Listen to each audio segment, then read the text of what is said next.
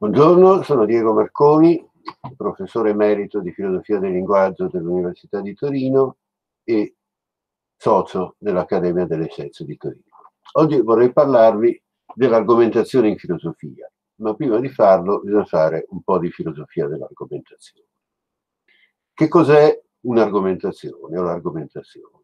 In primissima approssimazione diciamo che un'argomentazione è un modo di sostenere una qualche tesi, opinione, credenza, portando delle ragioni che la sostengano, cioè delle considerazioni che inducono a ritenere che quella tesi, opinione, credenza sia vera. Se la parola verità vi disturba, ma dovremo usarla piuttosto spesso eh, di qui in poi, possiamo dire che un'argomentazione è un modo di aumentare la credibilità di una tesi.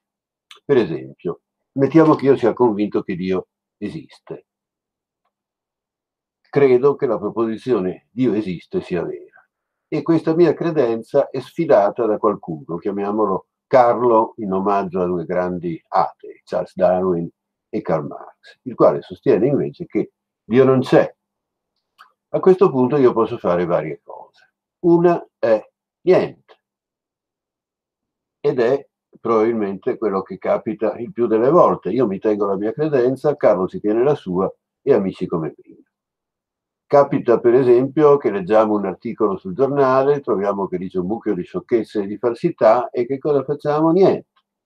Non sempre scriviamo una lettera al giornale per sostenere la falsità di quanto sostenuto, eccetera. Tuttavia, a quanto pare, gli esseri umani cercano il consenso, desiderano che gli altri siano d'accordo con loro, ma sopportano che le loro opinioni non siano condivise. E oltre a ciò, e forse soprattutto, il consenso è indispensabile molto spesso quando si devono raggiungere obiettivi condivisi. Se vogliamo sconfiggere il virus, abbiamo bisogno di dati condivisi sulla natura del virus, sull'andamento dell'epidemia, su quali cure sono efficaci, sugli effetti dei vari comportamenti, eccetera. Se i decisori politici eh, non sono d'accordo tra di loro su tutto questo, eh, non si va da nessuna parte. Ora, se si desidera il consenso dei propri interlocutori, di nuovo si possono fare varie cose. Si può minacciare l'interlocutore, gli si può usare violenza, oppure lo si può corrompere, comprare il suo consenso oppure lo si può lusingare. Come è possibile che una persona della tua intelligenza non riconosca una verità così evidente? E questa è una forma sottile di corruzione. E si può fare altro ancora, ma una cosa che possiamo fare è portare delle ragioni a sostegno della nostra opinione. Per esempio, dire a Carlo che la bellezza e la perfezione dell'universo testimoniano dell'esistenza di Dio oppure dirgli che se guarda nel profondo della sua anima troverà che in realtà anche lui crede che Dio esista. Se non che Carlo potrebbe non trovare niente nel fondo della sua anima e potrebbe non essere particolarmente convinto che l'universo sia questa gran bellezza, come Voltaire o Giacomo Leopardi. Oppure potrebbe pensare che bellezza e perfezione dell'universo siano perfettamente compatibili con la non esistenza di Dio. Allora, qual è l'idea che nasce nel mondo greco, probabilmente verso l'inizio del V secolo e forse un po' prima? L'idea è che conviene partire da premesse che Carlo condivide, oppure che sono così ovvie che eh, ogni persona ragionevole non può che condividere e poi mostrare che da quelle credenze, che chiamiamo premesse dell'argomentazione, segue inesorabilmente la nostra tesi. In questo caso segue che Dio esiste. Un'altra idea, anche quella praticata fin dall'inizio della filosofia occidentale, è mostrare a Carlo che la sua tesi opposta alla nostra è indifendibile perché è contraddittoria, porta a credere contemporaneamente che le cose stanno in un modo e che non stanno in quel modo. E certamente Carlo, come ogni persona ragionevole, non è disposto a credere una contraddizione, perché una contraddizione è assurda. Una terza idea consiste nel far vedere che la nostra tesi che Dio esiste, per restare all'esempio, spiega molte cose che altrimenti è difficile spiegare. Che cosa vuol dire che spiega molte cose? Vuol dire che prendendo la tesi come una premessa, un punto di partenza, ne derivano molte conseguenze che possiamo effettivamente constatare.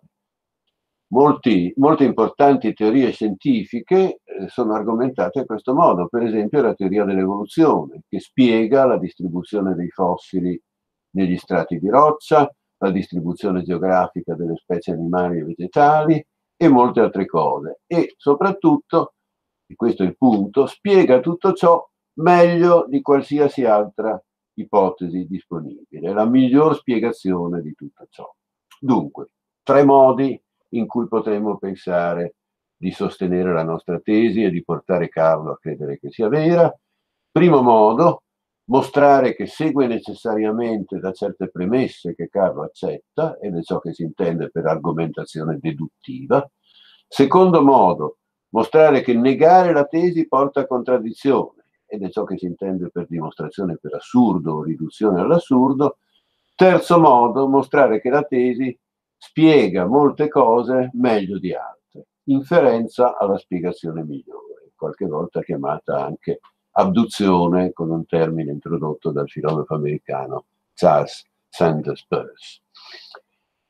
Quando parliamo di argomentazione di solito abbiamo in mente l'argomentazione deduttiva, cioè eh, il primo modo, ma non bisogna dimenticare le altre, le argomentazioni per assurdo e le inferenze alla spiegazione migliore.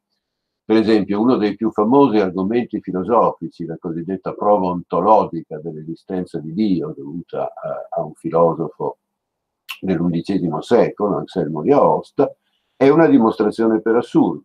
Parte dall'ipotesi che Dio non esista, come sostiene Carlo, e fa vedere che questa ipotesi comporta una contraddizione e le inferenze alla spiegazione migliore sono oggi teorizzate da uno dei più insigni filosofi attualmente attivi, Timothy Williamson, come caratteristiche della filosofia ed effettivamente sono state regolarmente usate, eh, queste argomentazioni che sono inferenze alla spiegazione migliore, sono state regolarmente usate dai filosofi, a cominciare da Platone, Kant eh, e molti altri. Ora, per descrivere i vari tipi di argomentazione ho usato espressioni come comporta, segue necessariamente, eccetera. Che cosa vuol dire? Il primo che ha tentato di dare una risposta sistematica a questa domanda è stato Aristotele. Il suo organon, l'insieme dei suoi scritti logici, contiene la prima teoria sistematica dell'argomentazione. Aristotele descrisse una serie di forme di ragionamento in cui, con le sue parole, se certe cose sono opposte, certe altre, diverse da quelle, seguono necessariamente. E per questa ragione Aristotele è considerato il padre della logica, cioè della teoria del ragionamento. Ora, Aristotele è stato, come tutti sapete, uno dei più grandi geni che l'umanità abbia mai prodotto. La sua autorità scientifica e filosofica è durata quasi indiscussa per 18 secoli. Tuttavia, la sua risposta alla domanda che cosa vuol dire che una proposizione B segue da altre proposizioni a 1, a 2, eh, fino ad n, era incompleta, era incompleta per almeno due aspetti. Anzitutto, le forme di ragionamento presentate da Aristotele, i cosiddetti sillogismi, non erano le sole forme valide di ragionamento, cioè le sole forme di ragionamento in cui la conclusione segue dalle premesse. Questa lacuna fu in parte colmata abbastanza presto dai filosofi storici, che fecero vedere che c'erano forme di ragionamento diverse dai sillogismi di Aristotele e tuttavia valide. Per esempio, queste.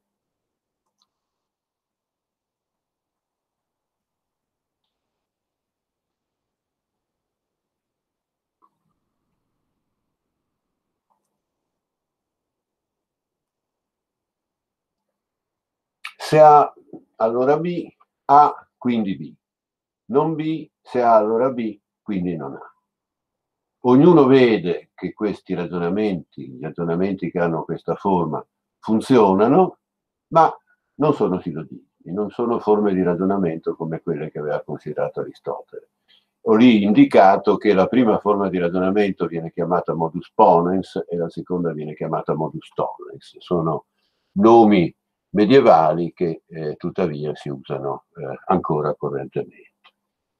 Una teoria molto più completa delle forme valide di ragionamento eh, sarebbe arrivata soltanto tra la fine del XIX e l'inizio del XX secolo con l'opera di Frege, di Hilbert e di Bertrand Russell.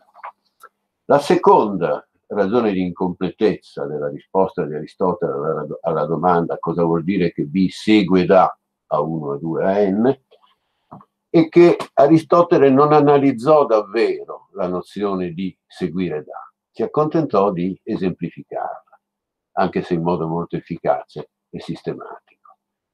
Seguire per Aristotele è essere nel rapporto in cui stanno tra loro le premesse e la conclusione di un sillogismo. La conclusione di un sillogismo segue dalle premesse.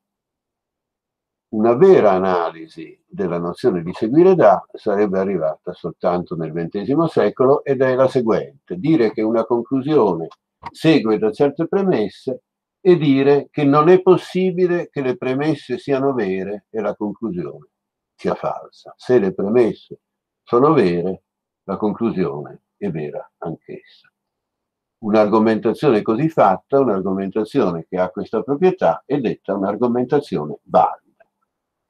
Forse qualcuno sarà perplesso dal fatto che in questa definizione vengano usate un po' spensieratamente parole e nozioni impegnative come verità e falsità. In realtà non sono affatto usate, spensieratamente si è trovato che veramente non c'è altro modo di analizzare l'idea intuitiva di seguire da, cioè di quella che chiamiamo conseguenza logica. L'alternativa è definire la nozione di seguire da mediante esempi, come in fondo faceva Aristotele con la sua teoria del sillogismo e anche gli stoici con la teoria dei, dei modi, ponens, tollens, ce ne sono anche altri. Dire cioè le argomentazioni che hanno queste forme vanno bene, sono valide. Per esempio, il modus ponens va bene. E poi dare una regola generale per produrre altre, infinite altre argomentazioni a partire da queste, mostrando che anche quelle vanno bene. E anche questo è stato fatto in epoca moderna e costituisce un altro punto di vista sulla logica altrettanto legittimo di quello che eh, vi ho illustrato con la nozione di validità. La logica è interessata alla nozione di seguire da, cioè a circoscrivere le argomentazioni in cui se le premesse sono vere, anche la conclusione lo è. In altre parole, la logica è interessata al concetto di validità, ma nella vita di tutti i giorni, nella scienza e nella filosofia, a noi di solito non ci basta sapere che un'argomentazione è valida. Mettiamo che io sia a Torino e debba arrivare a Milano per le 8 di sera. Certamente, se c'è un freccia rossa alle 5 e mezza e quel treno viaggia regolarmente, io arriverò a Milano in tempo. Ma il punto è, c'è un freccia rossa alle 5 e mezza e quel treno viaggerà regolarmente. Se non so questo, non so se arriverò a Milano in tempo, anche se l'argomentazione è perfettamente valida. In altre parole, le argomentazioni valide, la validità di un'argomentazione ci garantisce che se le premesse sono vere, anche la conclusione lo è. Ma se ciò che ci interessa è la verità della conclusione, se arriverò a Milano in tempo, allora abbiamo bisogno che le premesse siano vere. Non ci basta che, come si usa dire, implichino la conclusione. Cioè abbiamo bisogno che l'argomentazione sia non solo valida, ma corretta. Un'argomentazione corretta è un'argomentazione valida le cui premesse sono vere. Intendiamoci, anche nella scienza e nella filosofia molto spesso è molto interessante sapere che certe premesse implicano una certa conclusione, perché dimostrare che eh, le premesse A1, A2, A N implicano la conclusione B è al tempo stesso dimostrare la verità del, di quello che si chiama il condizionale se A1, A2, A N allora B. E molte volte questo è di per sé interessante e importante.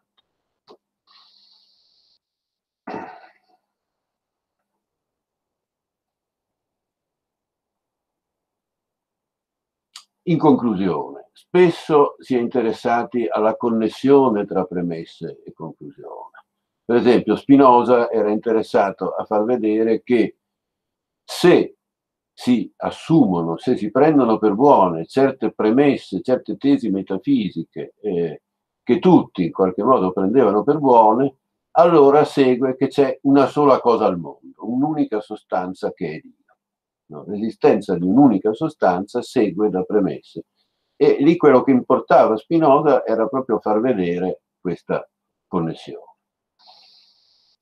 Oppure un filosofo contemporaneo, Donald Davidson, ha fatto vedere che se si definisce la verità come corrispondenza, cioè se si dice che un enunciato vero è un enunciato che corrisponde ad un certo fatto, per esempio l'enunciato le ciliegie sono rosse è vero perché corrisponde al fatto che le ciliegie sono effettivamente rosse, allora se la verità viene definita a questo modo, allora se una proposizione corrisponde ad un certo fatto, tutte le proposizioni vere corrispondono a quel fatto. Tutte le proposizioni vere corrispondono al fatto che le ciliegie sono rosse. Qui è chiaro che quello che è interessante è il rapporto tra, tra teoria della corrispondenza e teoria della verità come corrispondenza e questa conclusione paradossale. Se si è interessati alla verità della conclusione, non al rapporto logico tra premesse e conclusione, converrà scegliere premesse il più possibile plausibili, perché a questo modo si avvalorerà la plausibilità della conclusione. La plausibilità delle premesse, se l'argomentazione è valida ovviamente, si trasferisce alla conclusione. Per esempio, Tommaso d'Aquino era interessato, come sapete, a dimostrare l'esistenza di Dio, e per dimostrarla partiva da premesse plausibili, per esempio, niente comincia ad esistere di per sé, ma sempre grazie a qualcosa altro che lo fa esistere. Oppure nel mondo ci sono oggetti in movimento. Chi può dubitare di queste cose, specialmente della seconda? Se da queste premesse così plausibili segue logicamente, segue necessariamente che Dio esiste, allora è plausibile pensare che Dio esiste. Altre volte invece si è interessati a svalutare una certa tesi, a convincere che la tesi fa- è falsa e qui il caso classico è quello della riduzione all'assurdo. L'idea è che se da una premessa segue una contraddizione, allora quella premessa deve essere falsa, perché una contraddizione non può essere vera. È assurdo pensare che una contraddizione sia vera. Per esempio, se come pensava Sant'Anselmo, Anselmo di Aosta, dalla premessa che Dio non esiste segue una contraddizione, allora non è vero che Dio non esiste, cioè è vero che esiste. Ma ci sono anche casi meno estremi. Se da una premessa seguono conseguenze del tutto implausibili, allora quella premessa è a sua volta poco plausibile. Per esempio, Cartesio notava che dalla premessa che gli uomini sono macchine, segue che una macchina potrebbe parlare come un essere umano e Cartesio ovviamente, eh, non avendo esperienza di intelligenza artificiale, considerava questa conseguenza del tutto implausibile. Qui però bisogna fare molta attenzione perché spesso nelle scienze si è trovato che eh, da certe premesse seguivano conseguenze apparentemente poco plausibili e tuttavia queste conseguenze poco plausibili sarebbero state in seguito accettate.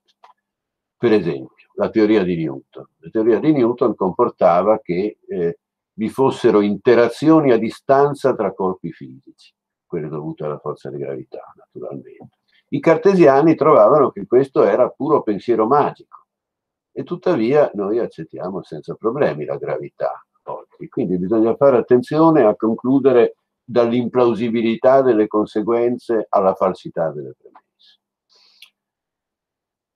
Concludo questa prima conversazione con qualche osservazione generale sul ruolo dell'argomentazione in filosofia. Questo ruolo non è sempre stato lo stesso, l'argomentazione non ha sempre avuto lo stesso spazio e lo stesso peso. La filosofia greca classica, il pensiero filosofico medievale, la filosofia della prima modernità eh, da Cartesio fino a Hume, sono state fortemente argomentative il neoplatonismo antico, la filosofia del Rinascimento, la filosofia contemporanea ispirata all'eredità di Nietzsche e di Heidegger lo sono state molto meno. Ci sono filosofie sapienziali che presentano come vere certe tesi senza argomentarle e ci sono filosofie descrittive che descrivono per esempio la situazione dell'uomo nel mondo presumendo di rendersi immediatamente credibili non mediante l'argomentazione ma attraverso l'efficacia intrinseca della descrizione. E molte di queste filosofie hanno avuto e hanno grande efficacia culturale, influenzando altri settori della cultura e anche in certi casi il modo di vedere le cose delle persone comuni. D'altronde anche le filosofie argomentative non sono tutte uguali. Molti dialoghi di Platone si presentano come fortemente argomentativi, ma le, argoment le argomentazioni non sono sempre di buona qualità. Gli appunti dei corsi di Aristotele che vanno sotto il nome di metafisica contengono molte argomentazioni, ma spesso così oscure e così contratte che è difficile ricostruirle con certezza e quindi valutarle. La scienza della logica di Hegel si presenta come un libro interamente argomentativo, esclusivamente argomentativo, ma pensa, molti pensano che quelle di Hegel non siano vere argomentazioni, siano poco più che giochi di parole o presentazioni di tesi preconcette. Non è la mia opinione, ma è un'opinione diffusa. Insomma, in filosofia no, l'argomentazione non è tutto e non lo è mai stato, tranne forse che in certe fasi della filosofia medievale. Tuttavia, è ed è stata molto. E spero prossimamente di presentarvi qualche esempio. Grazie dell'attenzione, alla prossima.